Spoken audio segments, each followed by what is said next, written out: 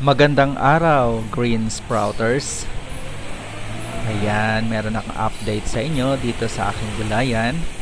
At merong mga nagsitubong mga kabute. Kasabay ng uh, pagtubo din ng ating mustasa.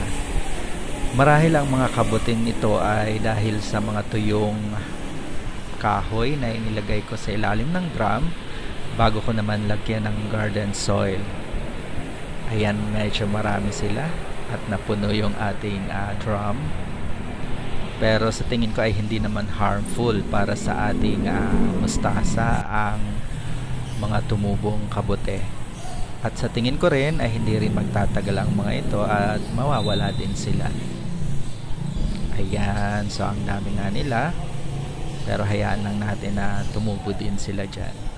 So yan lang po muna, Green Sprouters. Magandang umaga sa inyong lahat. Have a safe day ahead.